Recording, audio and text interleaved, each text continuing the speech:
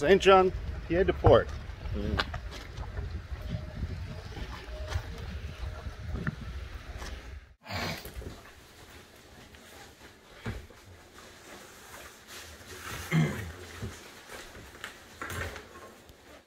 It's really not that cold.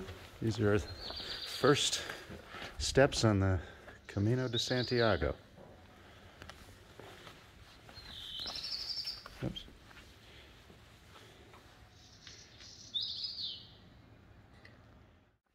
Right, you ready? Yeah.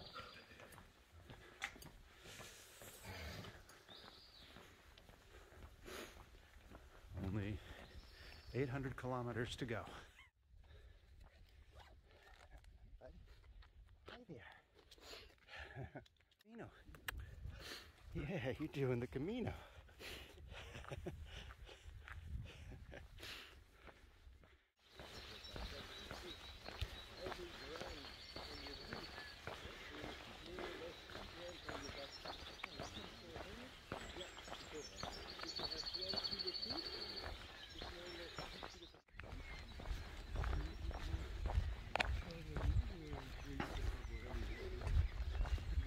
Hopefully, Joe's not just running up the mountain. He's stopping to appreciate this. That would be nice.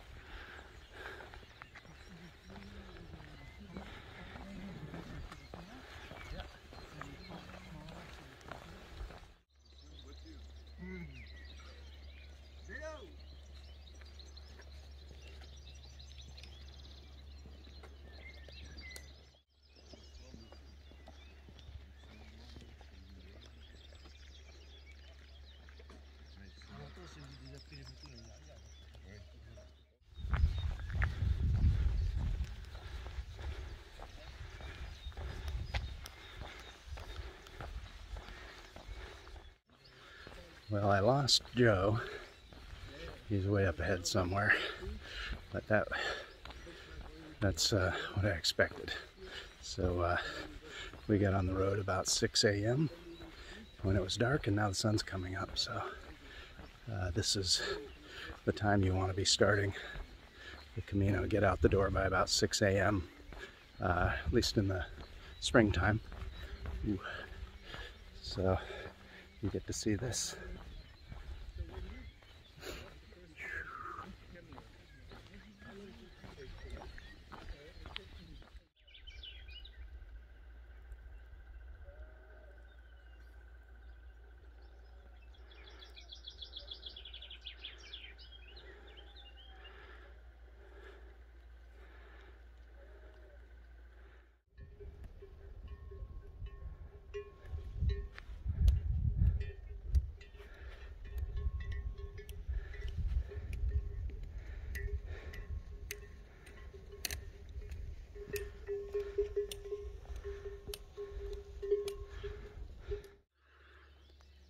It's going to be really nice today.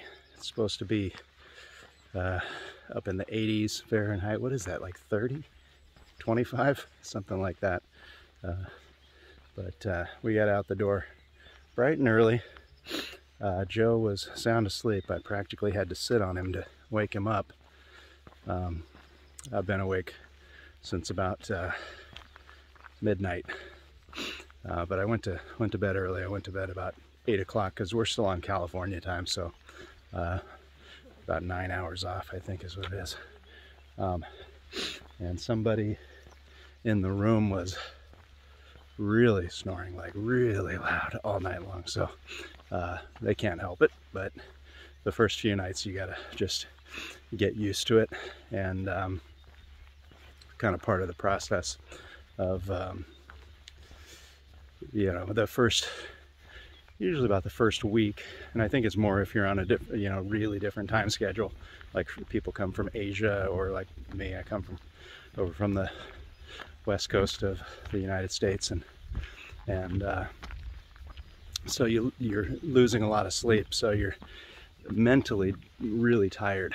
And then uh, you know you force yourself to get up because you gotta get on the road make sure you can get a bed and um, and uh, so you're mentally tired and you're body is just sort of going through the motions of walking and and uh, um, you know that's kind of the first week. It's just sort of getting acclimated.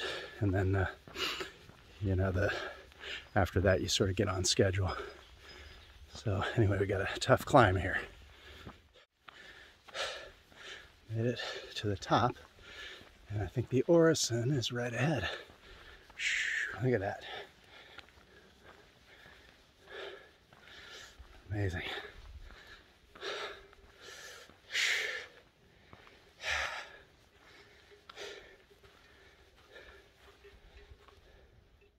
I got a message from uh, Joe, a text message that he's made it to the Orisson. So uh, he's about, uh, I don't know, he got about 30 minutes in front of me. So uh, I've got about maybe one more kilometer or slightly under that to get there. Um, and hopefully he'll still be there waiting for me. Uh, we'll take our shoes off for a bit, have a coffee or something and then uh, that's about a third of the way through. It's a uh, pretty steep climb, um, you know, so it takes uh, a while to get up that first section. Um, it's I would equate it to uh, you know climbing for it's it's basically eight kilometers to the Orisson, and seven of those kilometers is like climbing hills in San Francisco. They're uh, just really steep um, for much of the way. So, um, but then once you get to the Orisson, it sort of uh, flattens out a little bit and uh, looks basically like this. So um, for the rest of the day, so we'll do about another, I don't know, uh, 17 kilometers maybe from the Orisson, and and uh, it'll be uh, a nice easy grade. There's a couple of spots where you got to climb a bit, but uh, and then the last several kilometers is downhill. Um, and if you are doing uh, the Camino for your first time, uh, when you get to the very top, there's a kind of a sculpture up there. These are horses climbing away. Uh, when you get to the very top, um, there's like a sculpture up there and uh, the easy way is going off to the right. Uh, it's a road. Hey there, buddy. Hey there. Yeah, you got flies on your face. How you doing? How you doing? Yeah.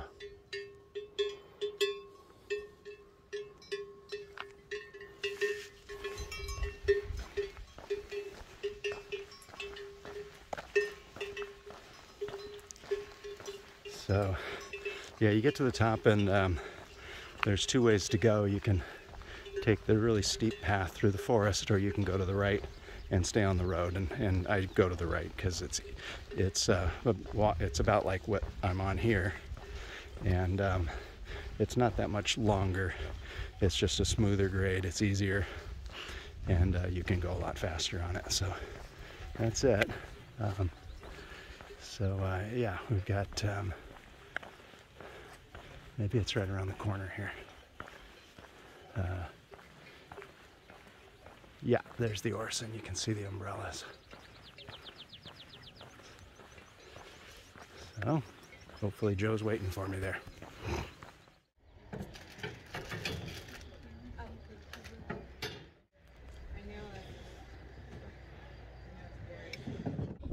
It is windy up here on top of the mountain. Holy cow.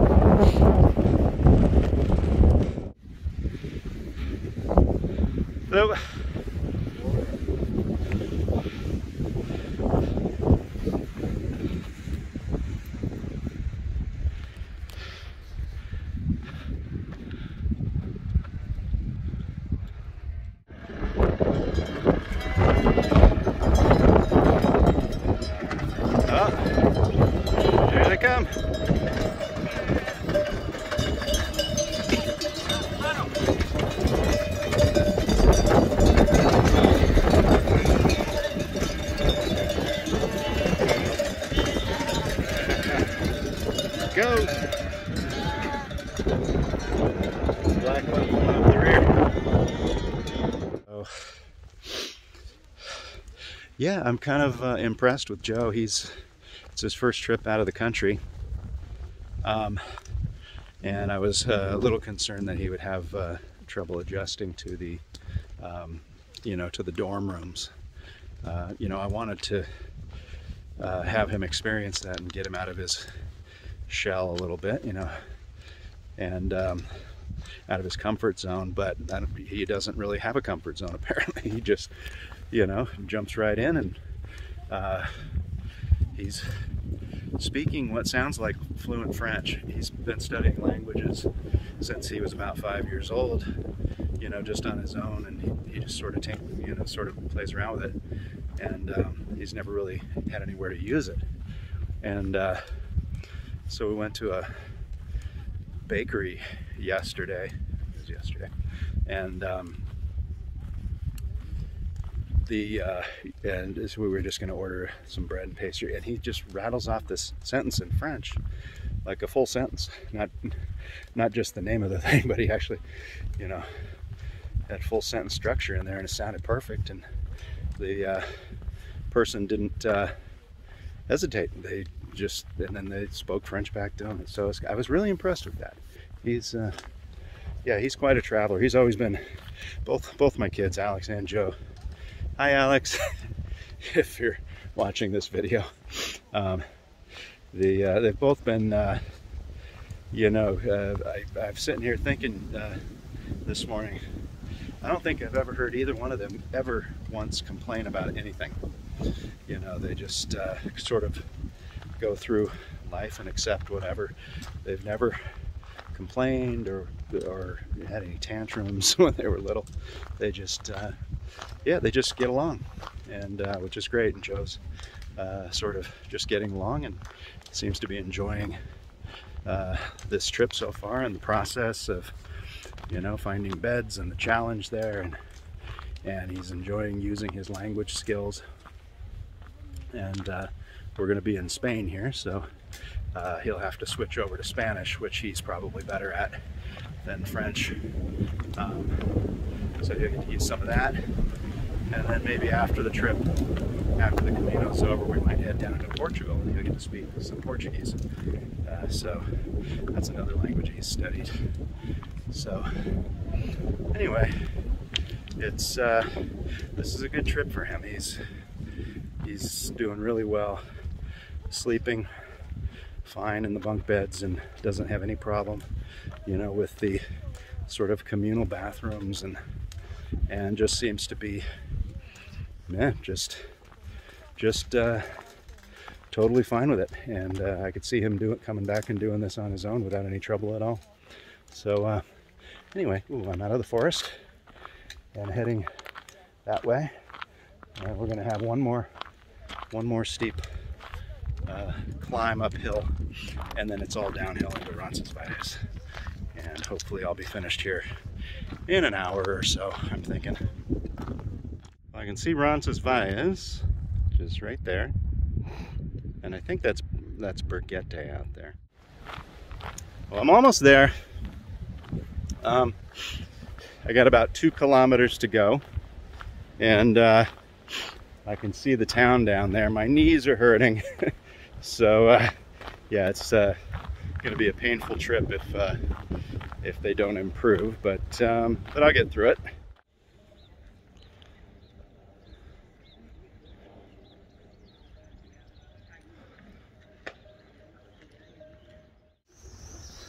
Morning guys. Uh, it's uh, day two and I'm in the uh, town of Burguete. Guess how that's pronounced. Um, I'll to you. It's kind of a narrow street barely a sidewalk and uh, some water running down the gutter there. Um, so this is a town that's kind of their claim to fame is that Ernest Hemingway stayed here for a period of time when uh, he was doing research on uh, his book. I believe it was the book The Sun Also Rises. Um, I'm sure he spent more time here than that, but that's kind of what the, good morning. Um, that's kind of what the uh, story is anyway. So this is just a small town. There's a little church in the middle of town. Um, and uh, the goal here is to not get run over by cars because there's really not much of a walking lane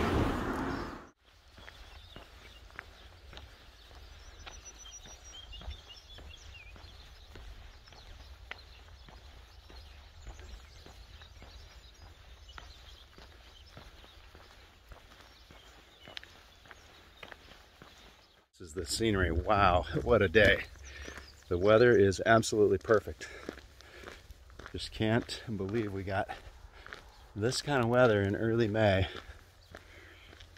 Um, as uh, springtime can be um, a little hit and miss here. We're supposed to get some rain in a, in a couple of days, at least that's what the forecast was when we were making our uh, well, we didn't really plan it. We just hopped on a hopped on a plane a couple days earlier than we expected, and then landed in Paris a couple days earlier than we expected. So uh, the climb over the mountain yesterday was challenging. I was talking about uh, yeah that first day, your body's not used to it, and uh, it doesn't matter really how slow you go. It's gonna be gonna be a challenge. It's about 15 kilometers a fairly steep hill. Um, the last downhill section is only about five kilometers. Um, and uh, it's kind of steep going down. Even the road on the, you know, that you take if you go to the right uh, is uh, somewhat steep. And by that point, your knees are uh, shot. So uh, it's a little difficult getting down. So my knees were in pretty bad shape last night. And uh, but I'm I'm walking okay. So as long as they loosen up during the day, um, I think I'll be okay.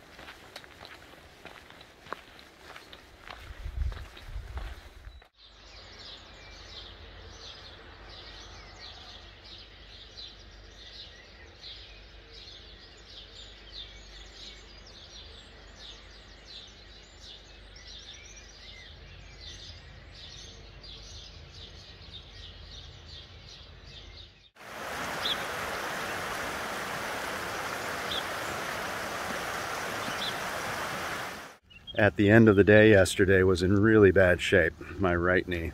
Um, as I mentioned before, it's been uh, giving me problems for a few months now. Um, and uh, not sure what uh, the problem is. It just never really had it had that problem before. It was really bad yesterday. It was swollen and really sharp pain. It's like walking on shards of glass in your knee. Uh, so, um, so I'm hoping, I'm hoping it'll just work itself out and that it'll go away if I, my weight's been up and, and hopefully as my weight drops while I walk, the, uh, my knee may uh, correct itself. Um, so I'm just kind of taking it slow and um, it's not too bad this morning. Swelling goes down overnight and it feels okay right now. I still feel it there, but but it's not uh, like what it was last night. So I'm able to walk today as long as I can walk. Um, the pain, you know, later in the day, if I can get most of the day without too much pain, um, I can I can sort of just tough it out um, at the end of the day when there's only a, a short way to go. Uh, but um, yeah, if it was really bad right off the bat, I would have probably uh, had to consider taking a taxi because um, I was really hobbling around last night. So, um, but yeah, right now it's not too bad. So if it if it's just like this and you know flares up in after the end of the day and but it's basically fine in the morning, then I'll I'll get through it just fine.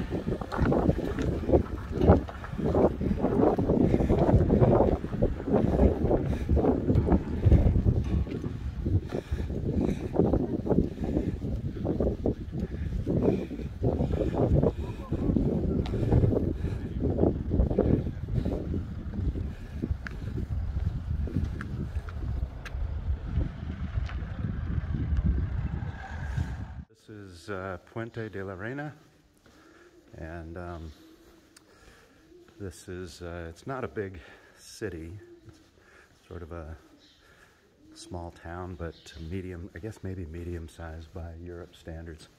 Um, buenos. It's uh, got these narrow streets that sort of keep the sun from getting down and it stays nice and cool even though it was um, I guess it was about 20, 25 degrees Celsius yesterday. Uh, when I looked at it which I think is, is close to 80 uh, something in that range uh, yesterday but down here in this uh, street it was nice and cool. So uh, but this is it. This uh, town has several streets like this, sort of running uh, parallel, and um, and I think uh, I think Joe's Joe's probably uh, he's getting ready to leave.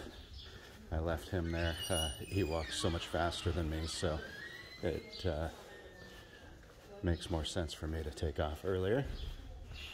Um, so the knees feeling not uh, too terrible. In the mornings, it's generally not too bad. I can feel the uh, problem there, and um, I'm going to try to take it slow today. I don't think there's any real climbing. Um, that yesterday was the one that sort of beat it up pretty bad because you climb up to Alto del Perdon and then you got to come down the backside, which is uh, pretty steep and, and slippery and rocky, and and uh, so you're coming having to come down on it pretty hard. Um, yeah, I, uh, y- you know, some people have suggested that I take a day off or a couple days off, but uh, if it was just me by myself, I would do that. Um, but uh, I'm uh, walking with Joe, and um, some of these towns are so small, there's not enough to uh, keep him entertained for a day. And um, and to be honest, I can I can manage. So um,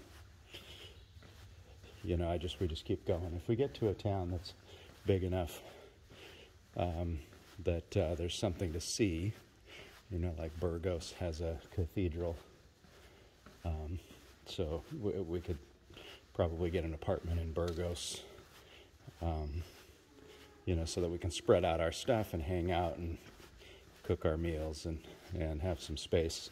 That might be worth uh, stopping for a day uh, and taking a break. So, but Burgos is around day 10 and we're on we're on day five right now.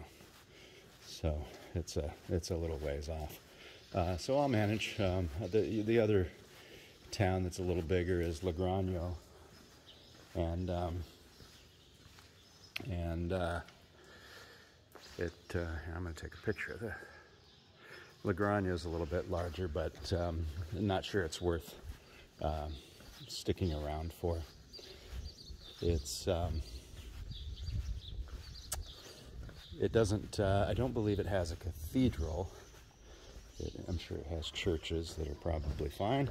Uh, mostly Logroño people are just looking to um, go out and hit the bars in the evening. It's got a, a little more of that to do, you know, bars and I guess tapas. Is that what we're serving here?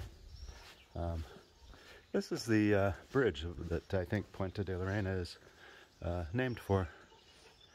So we'll get a snapshot of that. Um, and it's a nice view. So uh, yeah, nice day. It's the air's really still. There's no wind today. So beautiful bridge.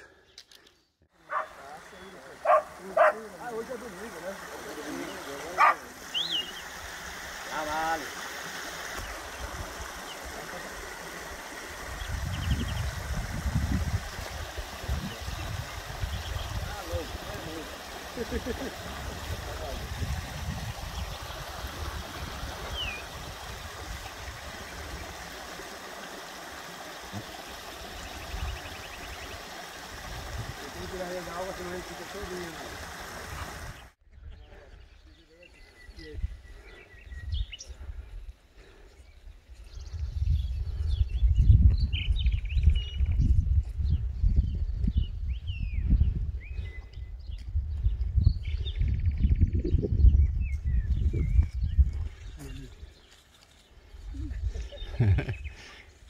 having a ball.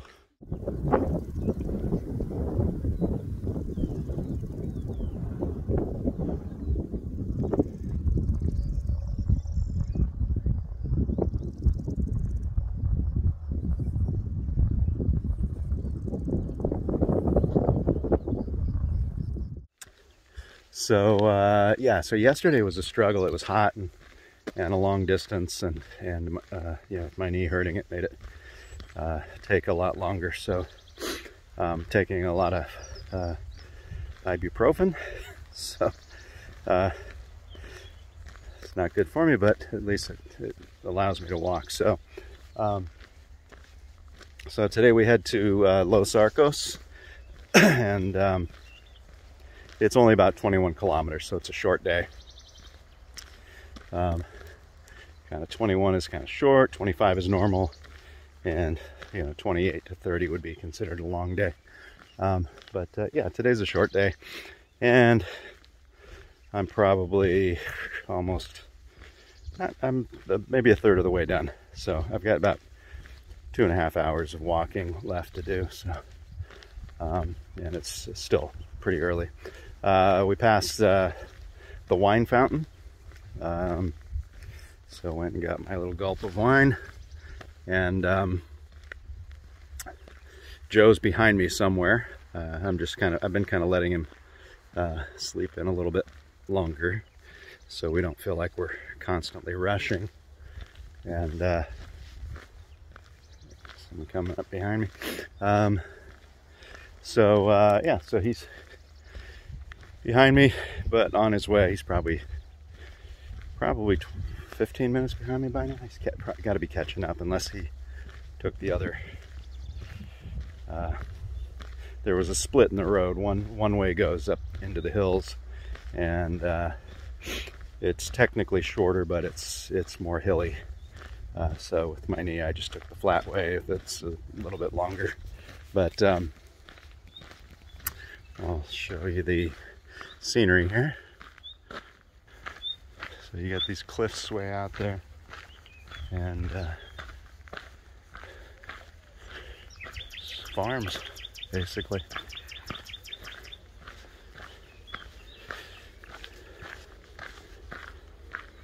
So that's uh, that's it. That's the news from the Camino.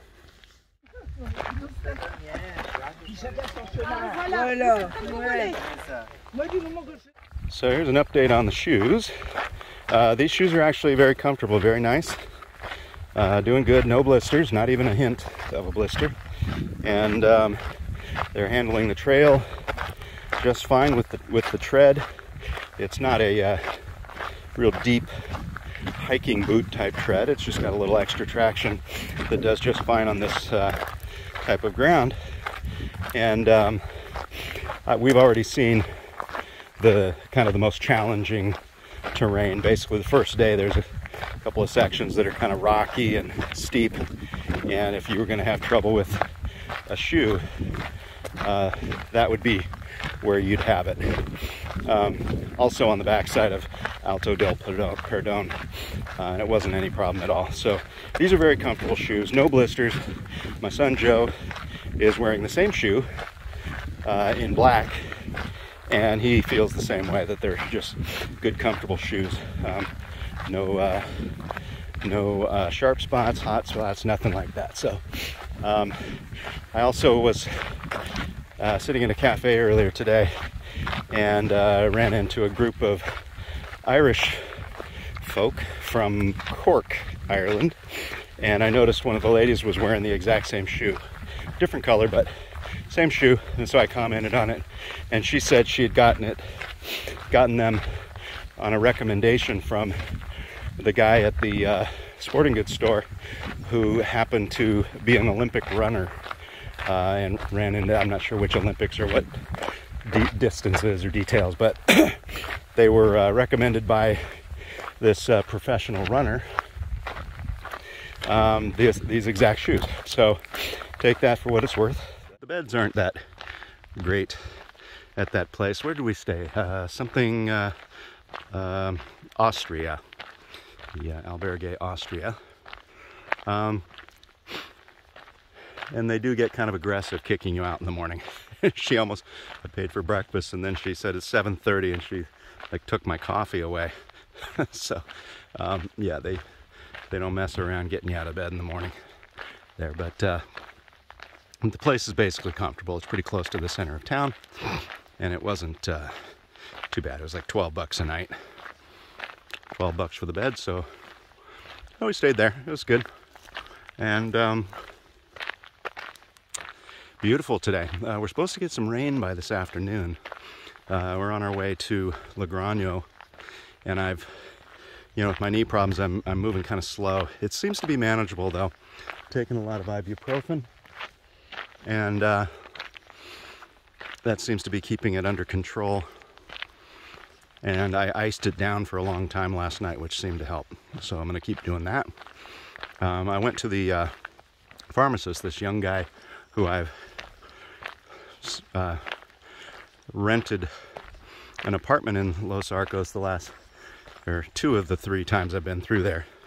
Um, he's also the pharmacist in town. He's in his 20s. And I asked him about it. He says it sounds like pretty typical uh, um, tendonitis in my knee. And he basically told me to do exactly what I'm doing take ibuprofen, ice it down, and try not to uh, be too aggressive with it. So,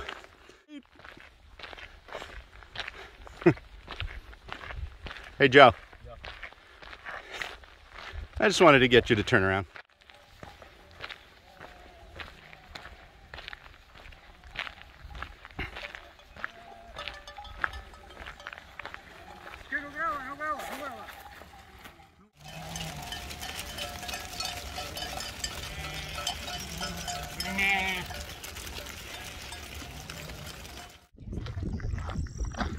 Ah, there we go. Hello. yeah. nice.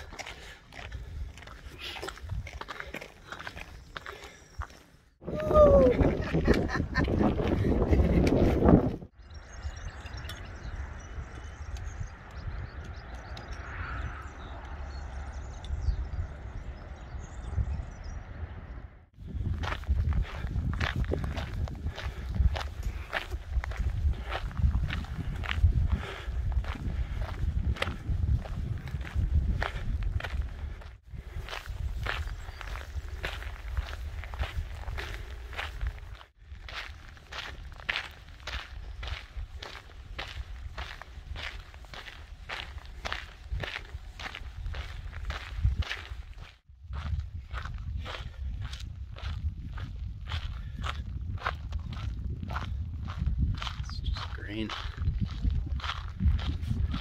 And uh, I got divorced in 2016. And uh, by about 2018, I wasn't real sure what I was supposed to be doing anymore. Um, you know, so much of your uh, identity is based on, you know, having a family, being married with kids. And then suddenly that ends and uh, you don't quite know really who you are anymore. After a couple of years of sort of, you know, trying to adjust, you know, to suddenly being alone instead of having, you know, coming home from work and having, you know, your wife there and your kids, you know, the life in the house. You've been, now you come home and you're just alone your kids are gone you know they're you know 18 years old or whatever they don't want to spend time with you. Your wife didn't want to spend time with you anymore. Um, you know it hit me really clearly right then that I'm going to work for the next 10 or 15 years and then when I'm done I'll be too tired to do anything. And um, you know after the experience with the divorce, you find, yeah, you can work for 20 years and in the end, you know, there's nothing left. And what do I want to do with my life at this point? Work another 20 years so that I can retire. You know, there's no way to earn back all the money I lost in the divorce. So, yeah, so then, so now what? So, uh, yeah, I bought my ticket to the Camino and, and I've, this is my fourth time now. So we're in Santo Domingo de la Calzada for their Millennium celebration. And the whole town is coming out. We're right next to the church where uh, the chickens are housed. And um, yeah, every every street you look down, the whole city's coming this way, coming to gather.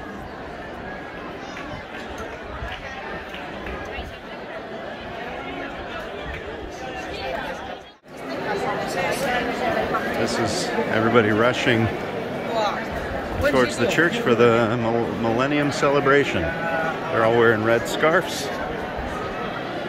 that say Milenario on it.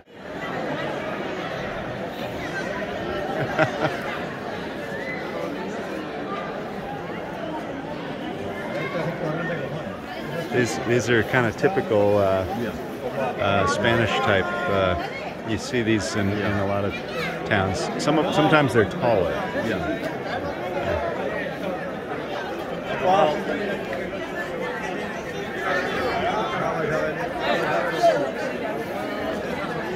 Let's go over. I'll get a picture of you with them.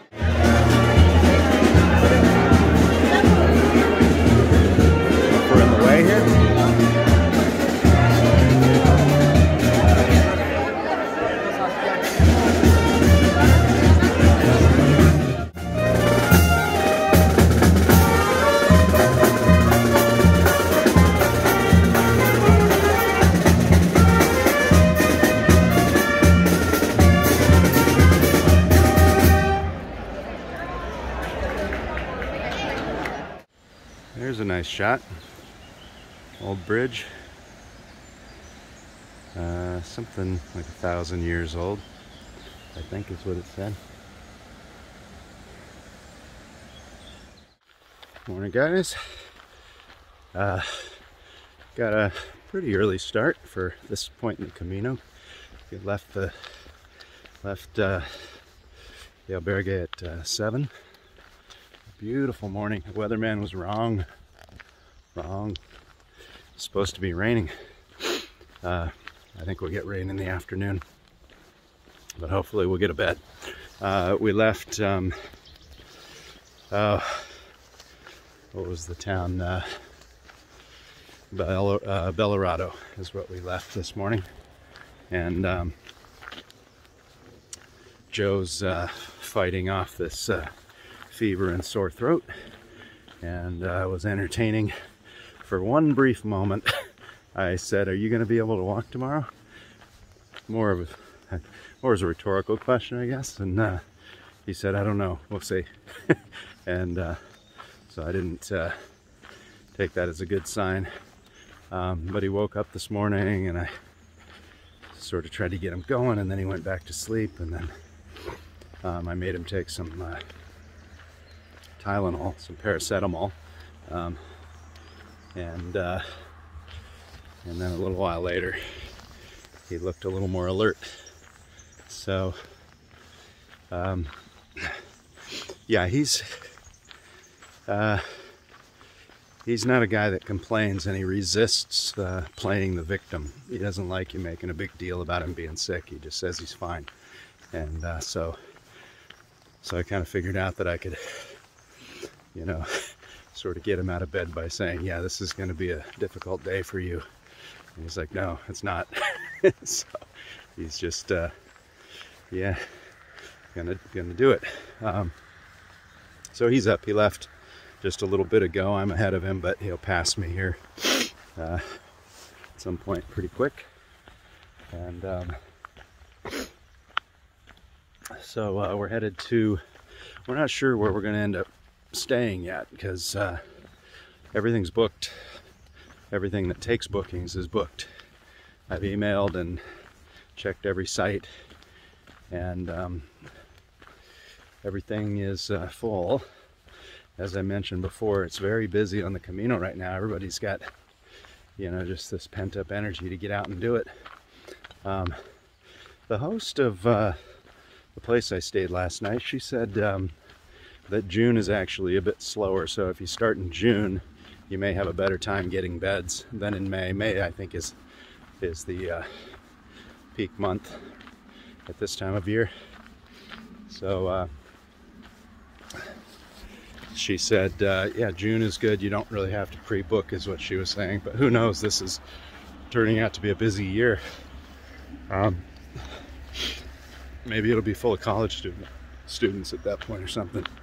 So, um, but yeah, so we're not sure where we're staying tonight. We're the short walk today is to is to San Juan de Ortiz.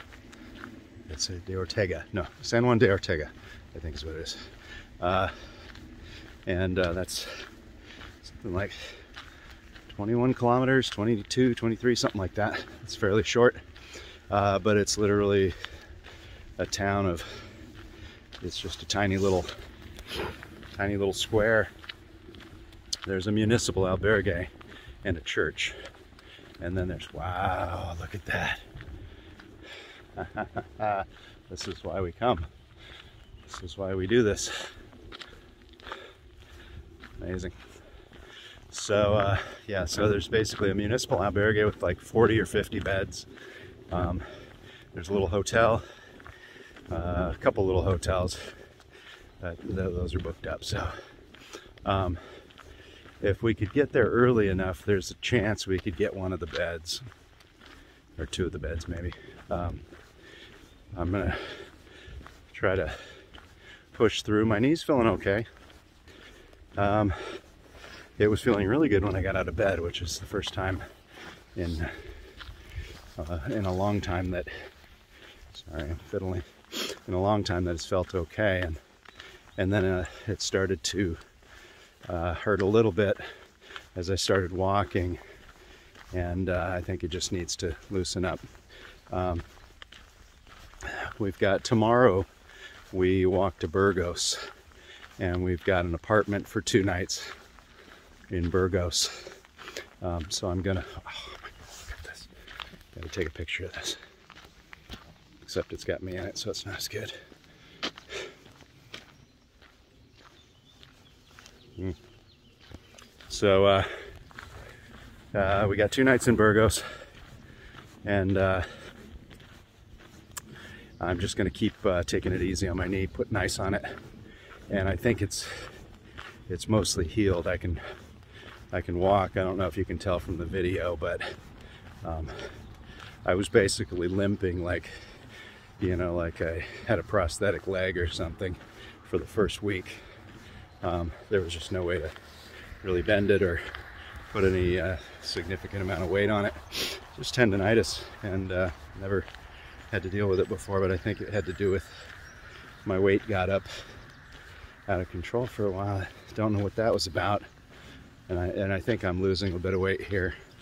But um, I think with the extra weight and whatever toll that takes on your body, and then maybe whatever was the source of the extra weight might have been uh, weakening my knees. And also, uh, when I get heavy, you know, my hips, I don't know if everybody else is the same way, my hips don't move as well. So instead of striding or strolling, you sort of waddle along and it puts uh, extra, extra strain on your knees. Mm -hmm that. So, uh, yeah, I'm sorry, I'm looking, I'm taking pictures while I'm talking. But uh, yeah, so I think it's just the twisting motion. As my hips weren't uh, as, you know, flexible. My weight was up and uh, just tore at my knees. And uh, maybe as I lose weight, they'll strengthen again and, and I'll be fine. Normally I'm a very strong uh, walker. Very aggressive and don't have any problems like that. So um, it'll be good to get back in shape. It's just so hard with, uh, you know, this is one of my one of the things I learned uh, on my first Camino. It's really it's easy to offer help to everybody you meet. Everybody likes to help. Uh, it's really hard to accept help when it's offered. And just like I was, you know, kind of coddling Joe a little bit this morning, and he rebelled and rejected it. You know, it's uh, it's just hard to be the victim. And um, you know, so yesterday was uh, was a challenge, um, or maybe it was yesterday or the day before, uh, because I was having to stop, and every person that walked by was like, "Are you okay? Do you need help? Do you need a?" You know what? After the tenth person, you know, offering to call me a an ambulance, you know, when I'm normally a guy that's just charging the, you know, charging the hills, it's hard. It's it's hard to feel pathetic. Um, there's Joe.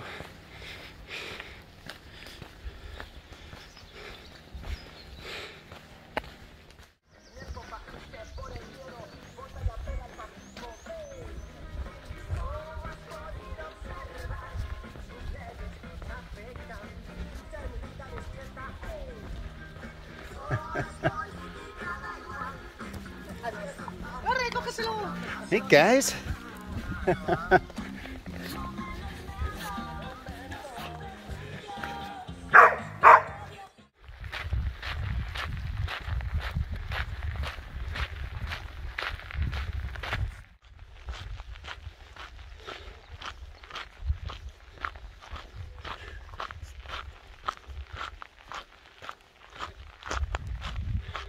We're sitting in uh, the town of, uh, I don't know how to pronounce it, Ages?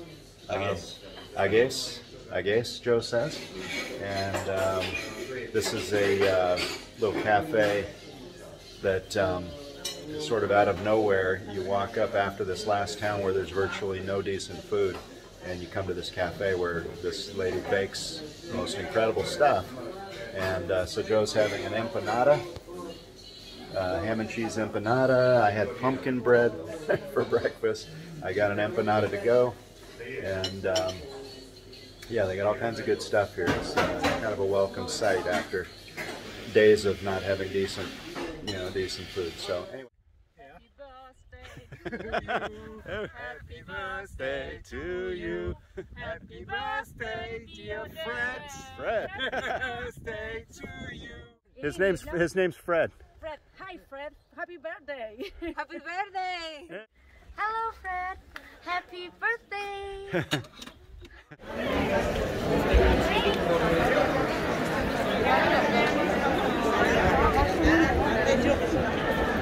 Now we made it to made it to Burgos. There's the cathedral, and here's the little guy, the barnacle covered pilgrim. And now we just gotta find Joe.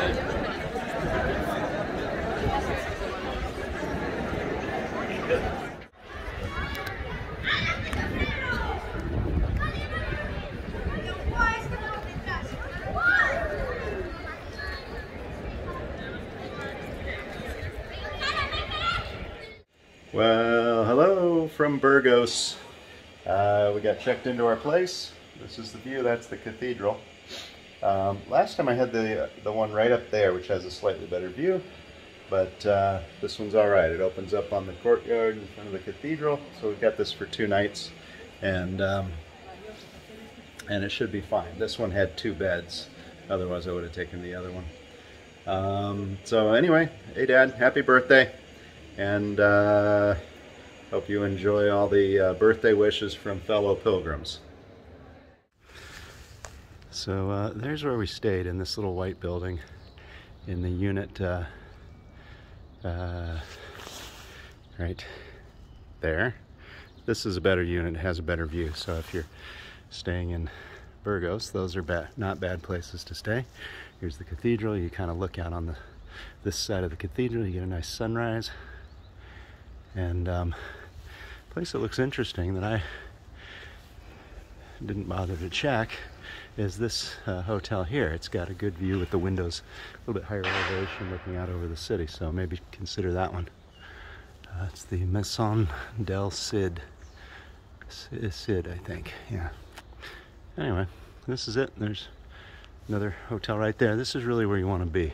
This is a good side of the cathedral. You get the sunrise, um, nice view, and uh, so it's kind of, uh, if you're looking at the map, uh, it's to the west, I guess the left side of the cathedral. And uh, yeah, not bad. So, leaving Burgos, and uh, Burgos is not, well, this is actually not that bad, uh, but it's not always the most pleasant walk when you leave a city because you're walking along the road with traffic and stuff. I didn't really walk anywhere. I walked to the Decathlon store, which is about a mile and a half, like uh, two and a half kilometers, something like that. And uh, walked there and back. But other than that, didn't really do any walking. Um, just sort of uh, hung out at home. And I really thought that would have um, sort of gotten my knees back in shape, but I woke up this morning, they were just hurting. Uh, and it's in both knees now. So, um, the, uh, and then the bed was so soft. the bed was so soft, my back was uh, kind of out. So, um, yeah, I got to make sure I'm on a firm, firm mattress. Otherwise, the you know, you wake up and your back's all bent out of shape too. So a lot of people go home at Burgos. Uh, the, and the reason is that they either only had two weeks for vacation. So a lot of people walk, walk to Burgos and then they'll come back maybe later at a later date and walk the rest or break it into thirds, something like that. Um, but uh, oh, somebody wishing me buen camino. I thought she was telling me to get out of her way. Uh, so, um, so a lot of people go home at Burgos, and uh, because it's kind of the last city where you've got major transportation outlets, and then uh, um, some people just simply don't want to do the Meseta because they've heard that it's boring. It's not boring. I've described it as being more subtle. The benefits of it are more subtle and you know thoughts start to creep in you know you you may be tired of being around other people you're you know some people experience depression uh, loneliness homesickness Hola. Um, so those are all mental challenges and uh, so uh, the meseta is is where you you push through that. And um, you know, for me, I, I, it hits me even now. It's in my fourth time here, and and it still hits me. I you know woke up this morning going, I really don't want to walk today. I don't want to do this today. Um, so you just sort of uh, say, you know what, I'm going to do this one more day, and um, and then one more day after that, and then one more day after that. Each day, you just do it one day at a time and um, and uh, of course I've got Joe with me, so that's going to keep me uh, motivated to keep moving forward, and um, and eventually um, you settle into the uh, energy, the the routine and energy level of the meseta, which is a little quieter, slower paced. And I say it's not boring; it's just subtle. The, so that's why I tell people it's important that you um, do the you know that if you're looking for that uh, obviously everybody's different. If you're if you're looking for the full you know enjoyment and appreciation and the full spiritual realization of the camino it, it's kind of important that you do the whole thing.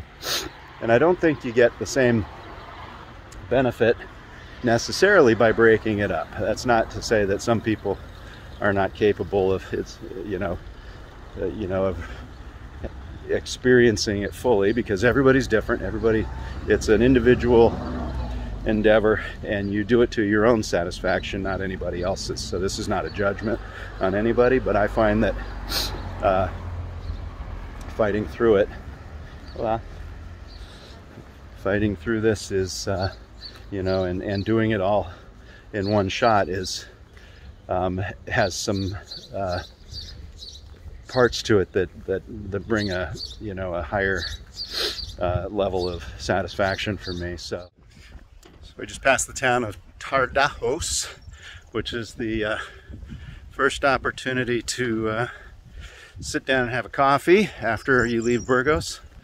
I think it's like 10 kilometers outside of Burgos. And I actually, uh, I've been kind of keeping up with Joe today. He caught up to me. I left earlier than he did.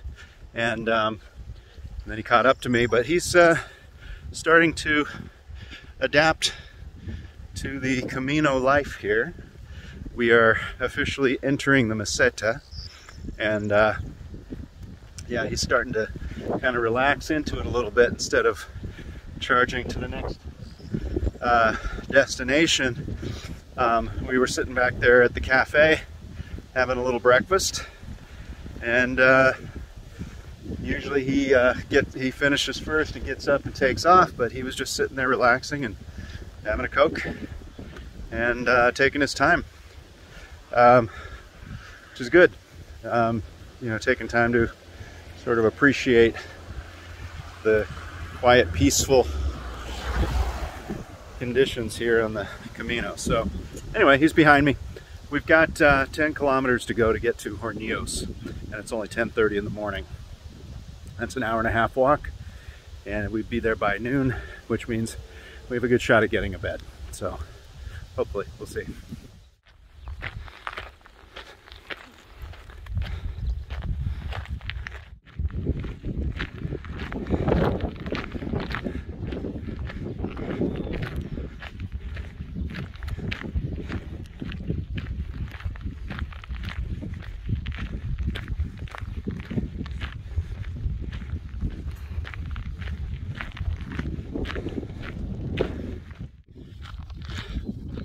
Well, this is the Meseta.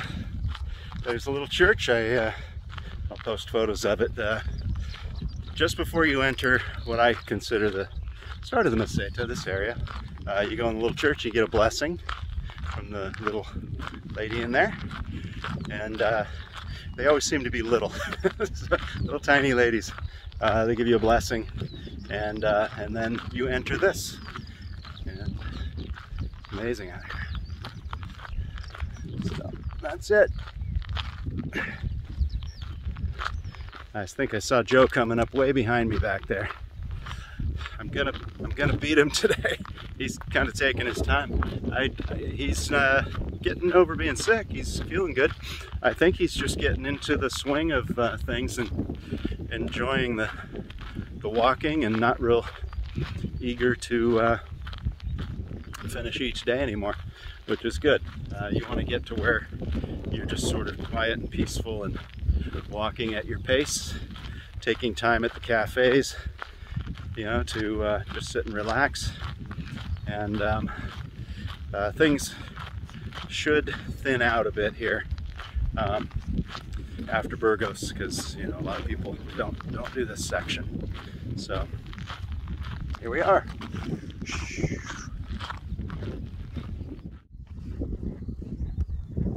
Buddy. Here comes Joe.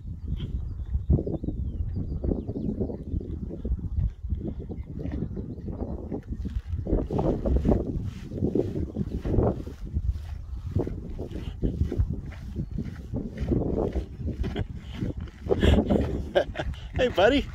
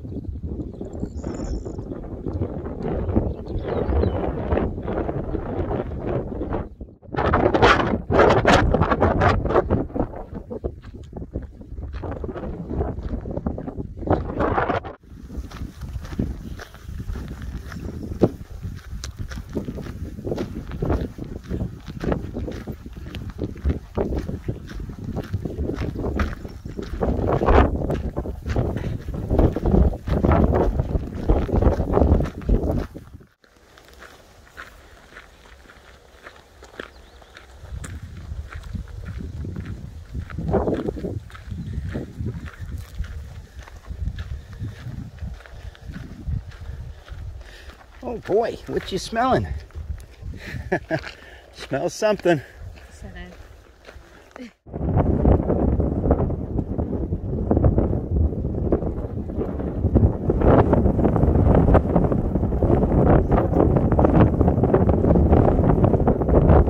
Um, so yeah, so we're today's a short, really short day. I think it's 21 kilometers maybe um, to Reliejos.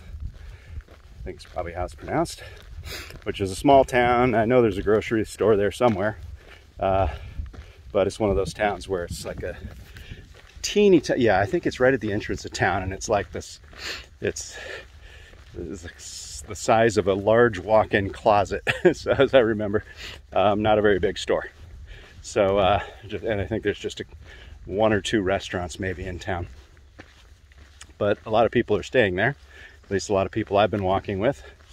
As I mentioned uh, in other videos, uh, the the Meseta is kind of where the Camino really, uh, you really settle in. Um, the first week is sort of scrambling to find beds and get used to, you know, sort of understand how it all works and, and you're excited to be here. It's kind of like being at a party and you're running around trying to meet everybody and, and, um, you know, and people are sort of coming and going, and and and um, you don't quite have your your group yet.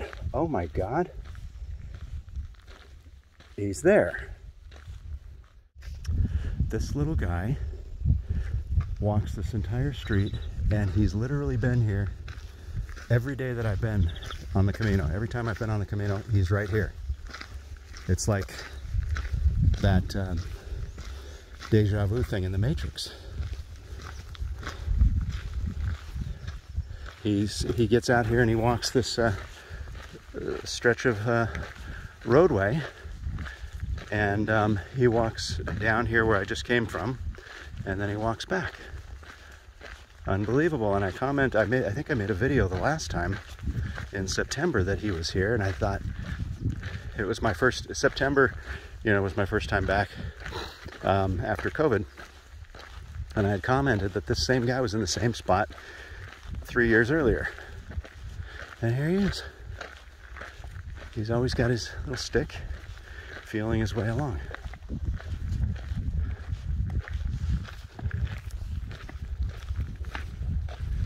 Hola. Hola. You've been here every time. Been, I've been here three times 2019, 2022, and now he's here every time. Walks this road every day. Oh,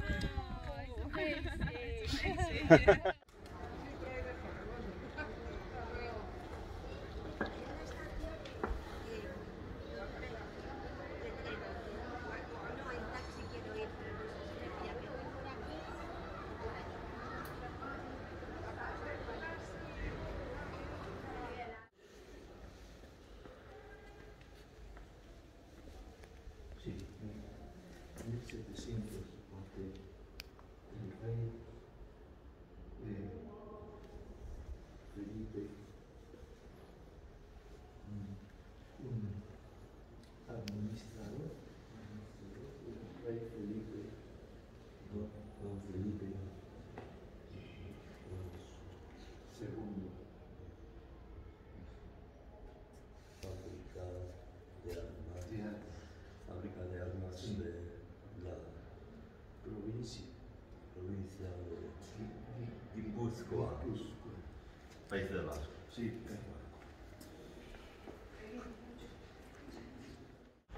Well, good morning, guys.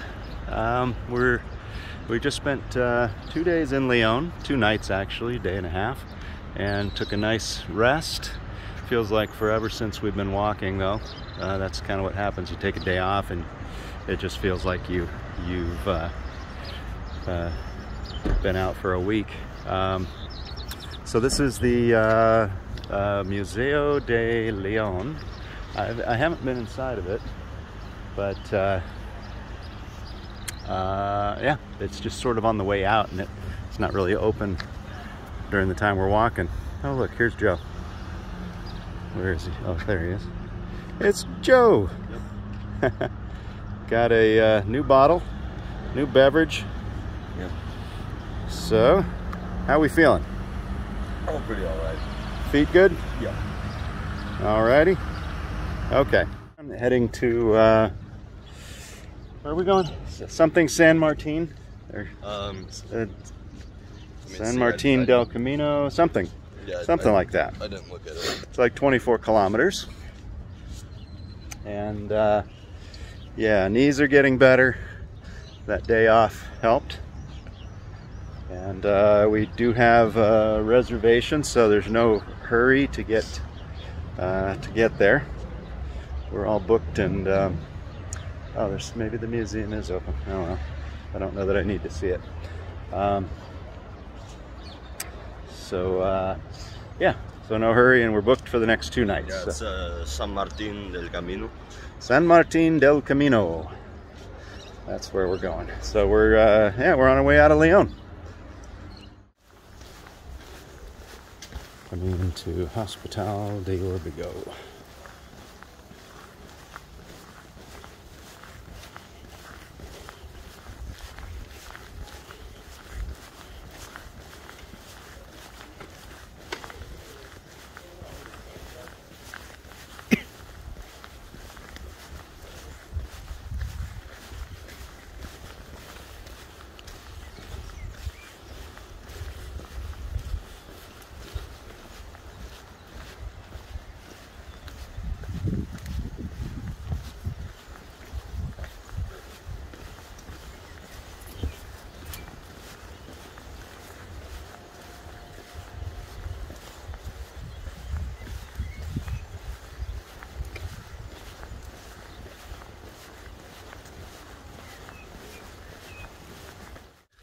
So uh, my knees are getting seem to be getting a little better little by little which is is good. Um, you know they hurt if uh, you know they hurt after walking on them for a little while but not as bad as not nearly as bad as they did in the beginning.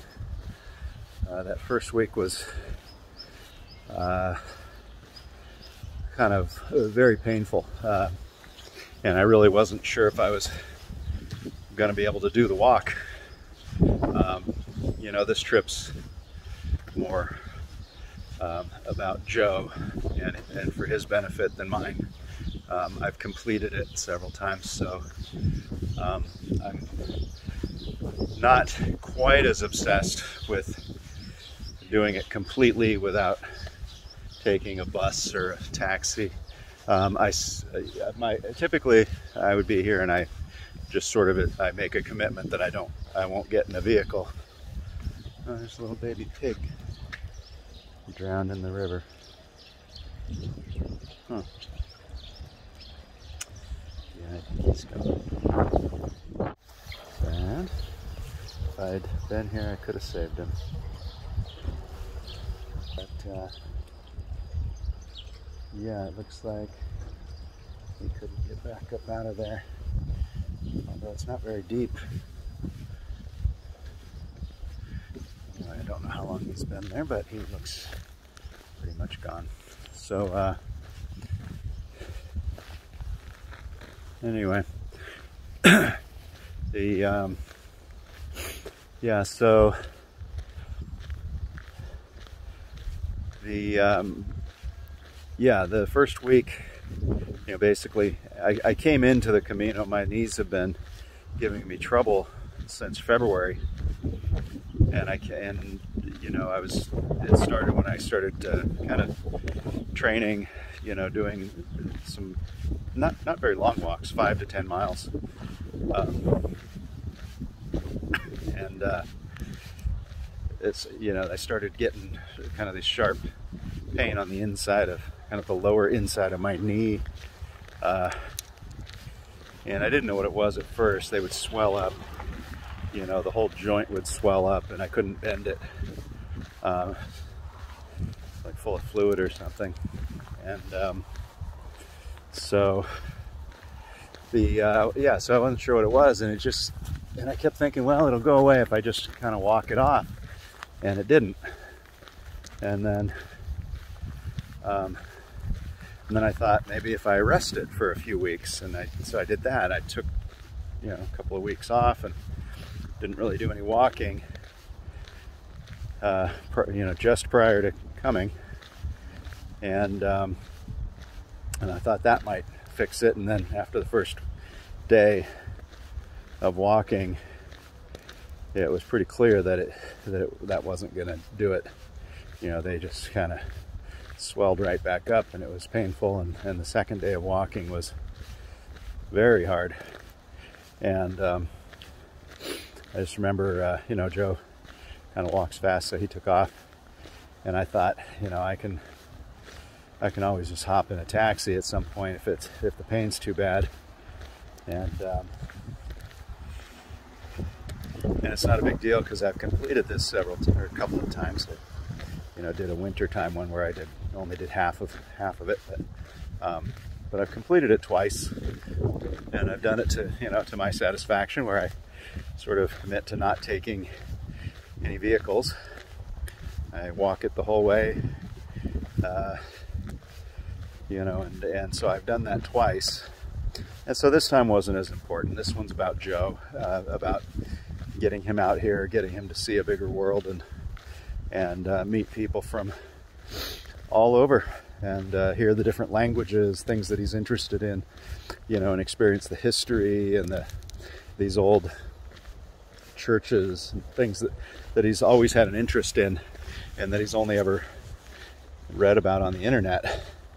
And this, uh, you know, it was not really critically important because I've I've done it to my own satisfaction a couple of times. So, um, but I, I do tend to, uh, um, you know, push my own limits to the point where I'd really have to be, you know, really incapable of walking. It, it- you know, the pain. It's weird. Uh, you know, when you're in the middle of pain, you sort of just rationalize it, like I do, and you just say, "Yeah, that hurts," and I'll, you know, I'll take something for it. And but you just keep taking one step at a time, and eventually you you get to the place you're going to stay, and you know, it's just like an incredible relief when you can finally, uh, you know, lay down on your bed and take the weight off of it. And, you know, and then you get up and you do it again the next day. Um, if I had to think, I'm going to walk through this pain for the next 33 days or whatever number of days was left, I wouldn't have done it. I would have just said, yeah, there's no way. Um, but you take it, you know, one day at a time, one town at a time. You know, you think I can, you know, I can sort of limp my way to the next cafe and get the weight off of it, and then I'll. When I, you know, in 2018, what was I? Uh, uh, 50 years old, I guess. Um, and uh, thinking, yeah, I'll just get through 15 more years and then I can retire and then I can do what I want to do. And, uh, but no, you know, when you start having health problems, you may not be around in 15 years for one thing. And the other thing is you may not be able to walk even, you know, and you're, um, and then you think, what's, you know, what the hell? so that's kind of the, scary part about my my knees is that suddenly it just came out of nowhere and suddenly I can't walk anymore and um, yeah so then I'm thinking what, what do I do now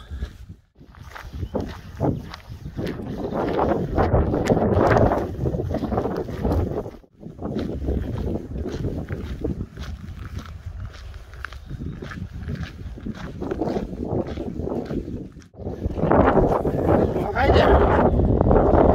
Hi there.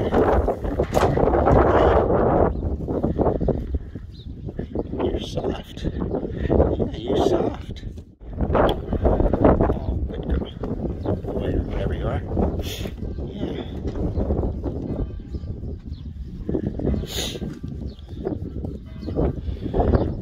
Nice. Nice cow.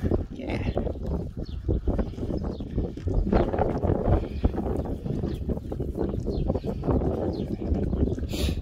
Oh, yeah. Sweet boy.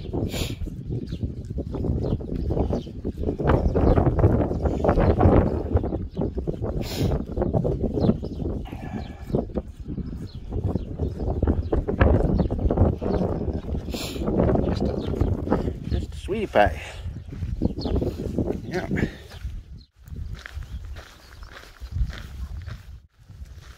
haven't seen too many uh, pilgrims out here in a while. I know I'm on the right road. So we're getting a late start leaving Astorga but it's a short walk today and we have a reservation so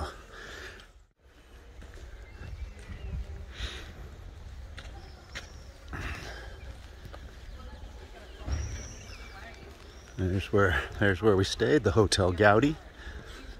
Uh, sort of an old hotel with a lot of wood, you know, wood floors and everything, and uh, sort of has some uh, personality, I guess, some charm. And it's uh, right here close to the cathedral and uh, the Gaudi Museum. We're not sticking around. Uh, if we were staying an extra day, I might encourage Joe to see all this stuff, but we're not. We're not staying. We're- took a rest day in Leon, so don't need to. Well, guys, this is uh, well, that's the um, cathedral in Astorga. There. Yeah, we're leaving Astorga today, and um, heading to a town called Rabanal. I think Rabanal del Camino is probably what it is. Joe's, uh, he made a run to the grocery store, got to get his uh, chocolate croissant or something. And he'll uh, catch me in a minute. And um, yeah, short day today, but 20 kilometers. We were pre-booked, so we're getting a late start. Uh, it's like 9.30 or 10. This is like incredibly late to be uh, starting walking, but uh, we only have a about a four-hour walk. Um, I have a, a, baguette in my pack, so I don't need to stop anywhere, and uh, and uh, so it still puts us puts us to our destination by about uh, one o'clock, something like that. One, but probably before two, anyways. Hopefully before two, or they'll give our reservation away. That would be bad because Rabanal is a difficult one to get. so, anyway, see you on the see you on the road, buddy.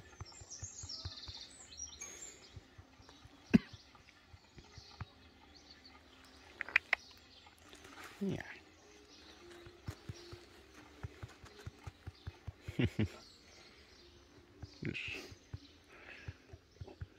Here's a rare sight.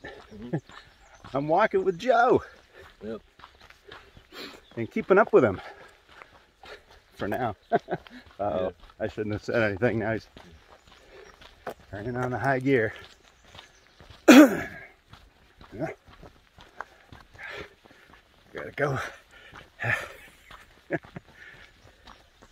nice view. Yeah.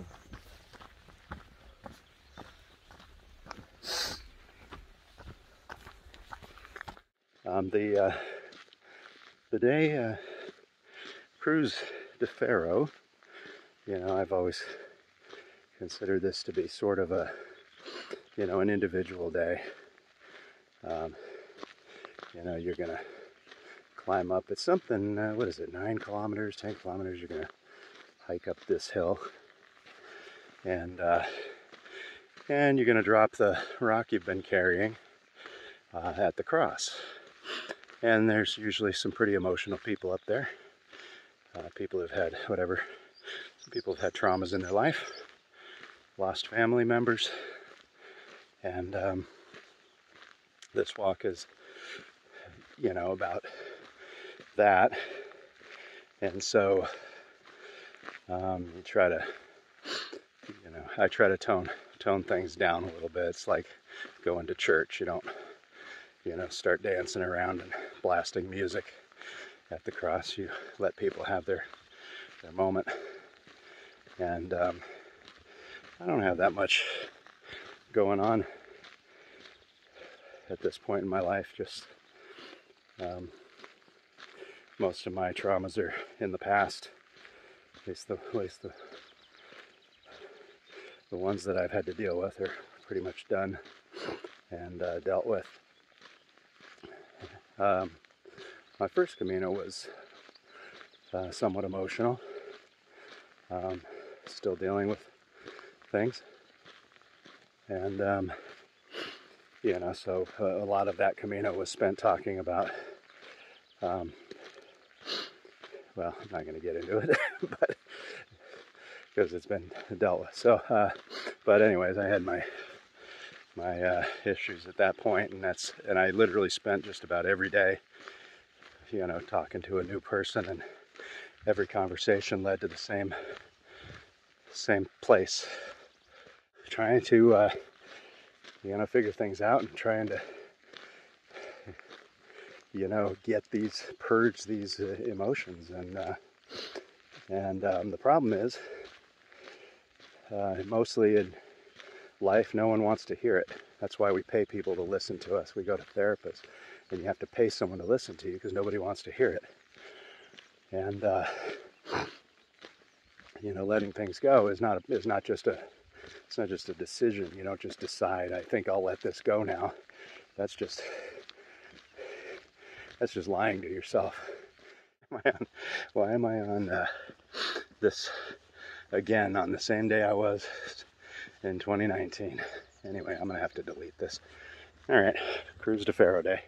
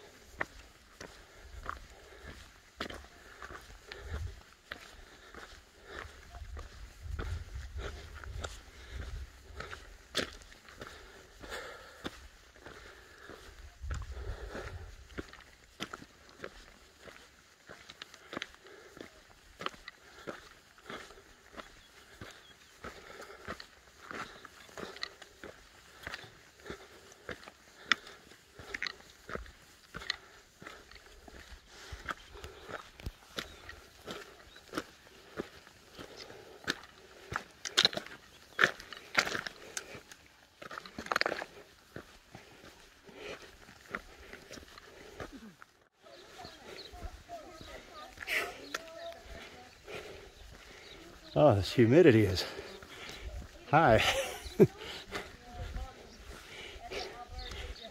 Humidity's so high, my glasses are fogging up. Hi, buddy. Hi. Got a shirt on your head. That's this is interesting.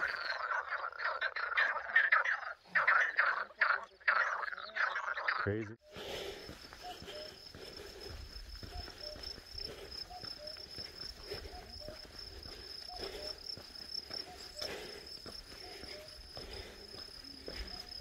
Buddy.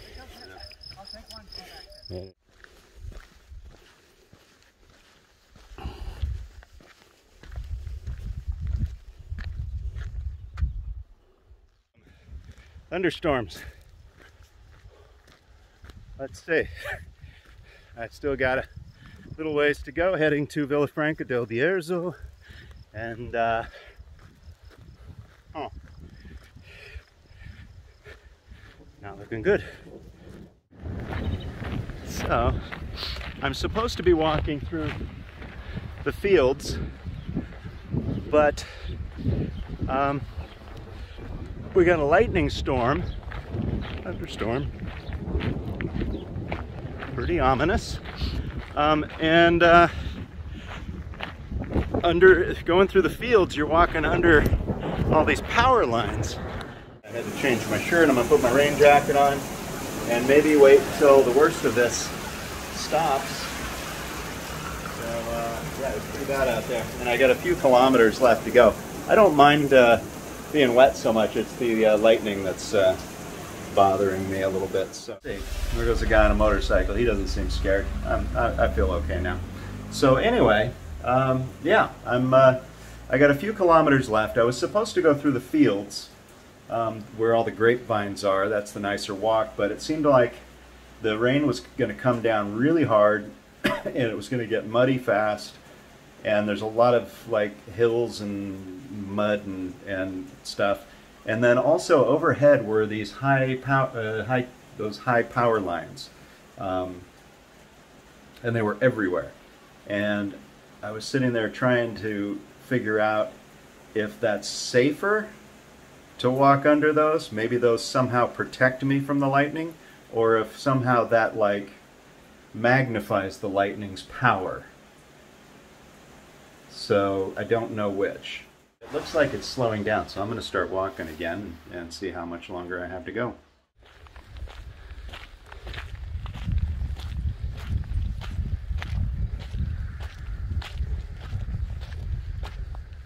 Well, that was a heck of a lightning storm. Sun's coming out. Still some clouds. Boy, look at this. Well, let's flip that around. There we go. Yeah. Yeah, it's pretty much past. I think.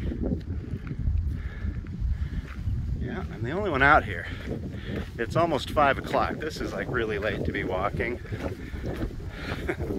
but I'll end up doing 33 kilometers today. I got a late start and I didn't walk that fast. And uh, yeah, I just, uh, and I took the uh, long way. I should have followed Joe. He knew where he was going. But I'm on the path. Uh, during the lightning storm, I took that road because uh, it was a more direct route. The roundabout way goes through those hills back there. And uh, the uh, with the lightning and the power lines overhead, I just wasn't sure if that's the way I should do it or not. But uh, anyway, I took the road. It was a little more direct. And then I came upon that bus shelter and it was all fine. I'm still here. So uh, yeah, it's nice out here. I've got about three kilometers to go. And that should take me about 30 minutes or so.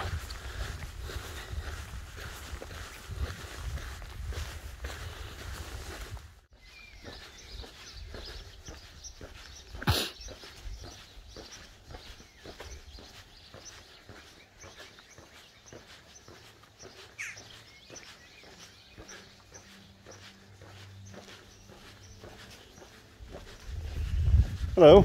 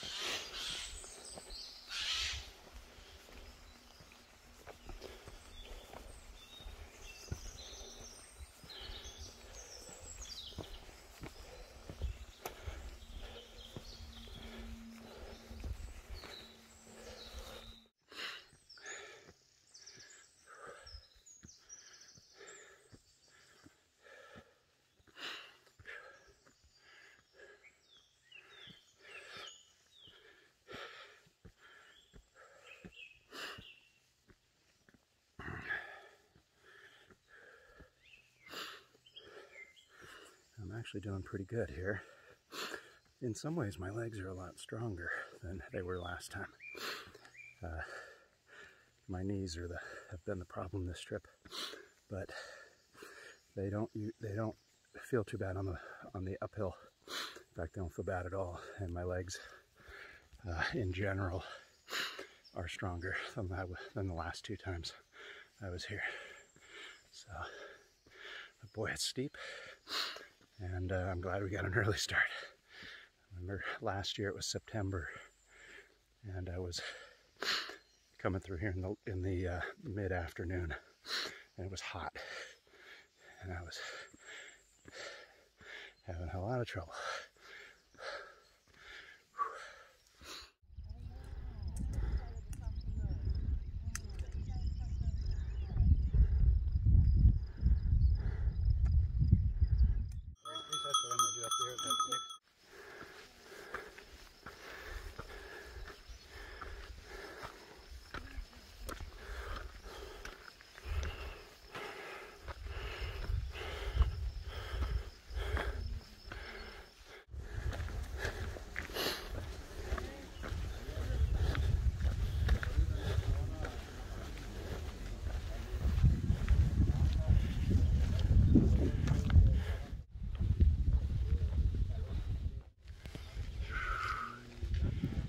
Sombrero.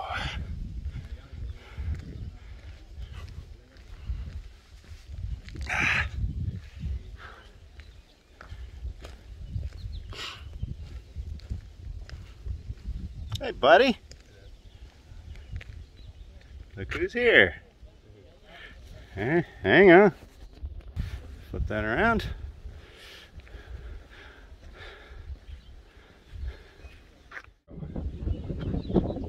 Wake up to this in the morning.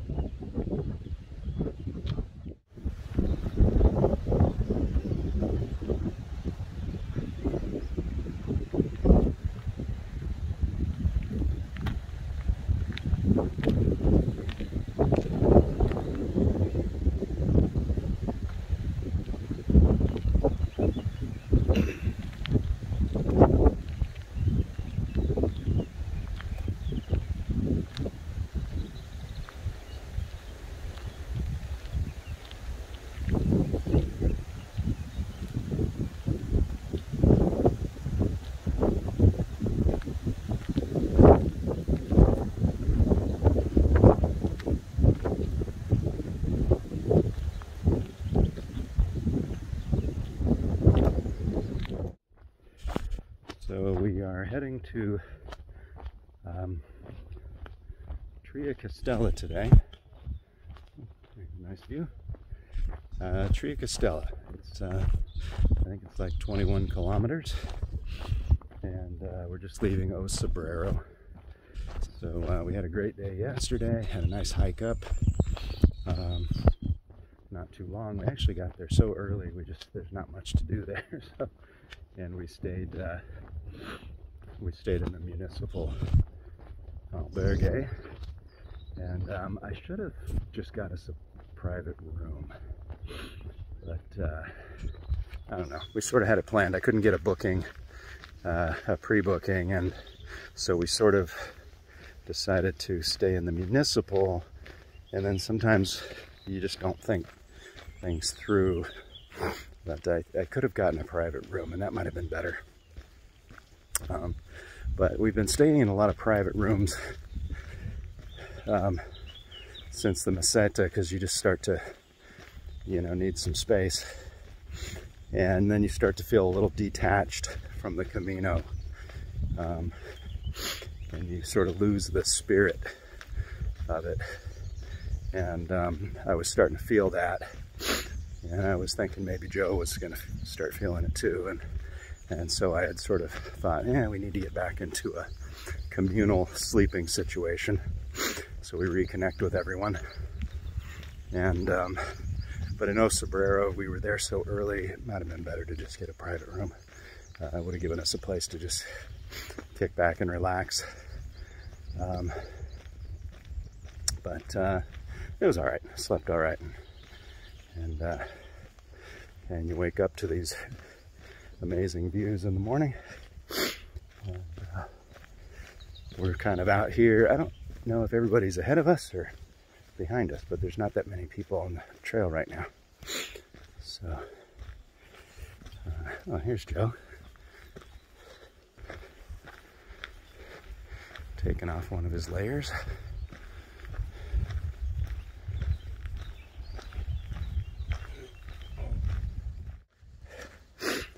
he'll catch up to me and pass me quickly. So uh, anyway, yeah, head, heading to Triacastela today. Uh, should be a nice day, nice walk. Clear skies for now. And uh, see you guys there.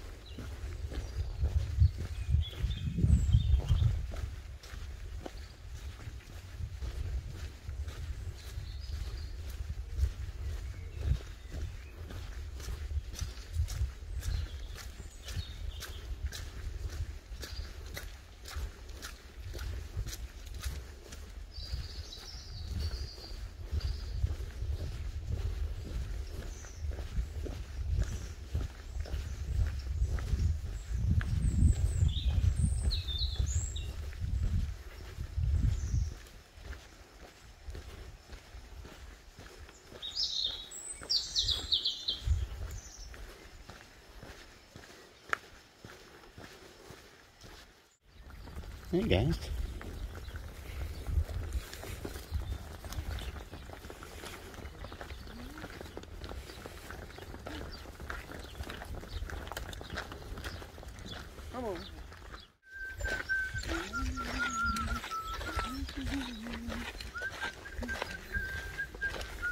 Sentimo?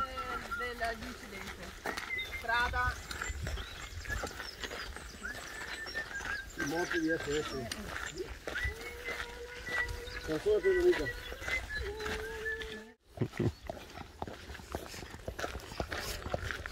Hola. Hey.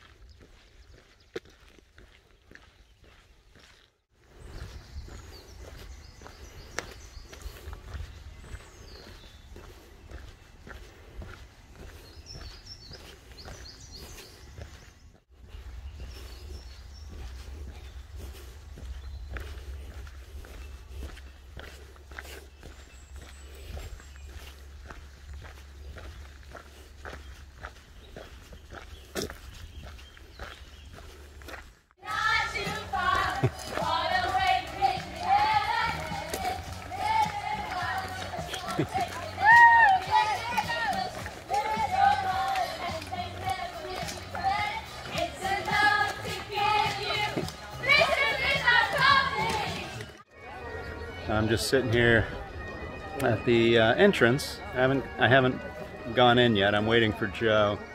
Uh, I left uh, quite a while before him because I wanted because he's so much faster than me. I wanted to make sure I was here when when he walked in so I could maybe get some video of it. But the bagpipes playing in the background there, and uh, I'm just sitting here uh, waiting to. Uh, he's he said he was about a kilometer away, like five minutes ago. So that's uh, he's probably only a few minutes away, and um, and uh, so um, yeah, I just want to uh, wait till he gets here.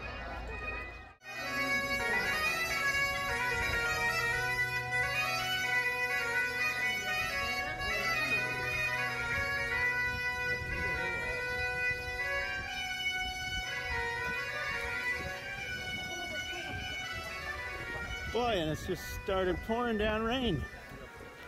Like in the last couple minutes. Oh, we did it.